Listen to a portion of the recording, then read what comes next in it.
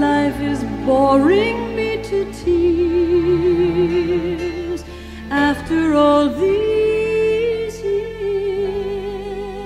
No sunshine, no moonlight, no stardust, no sound.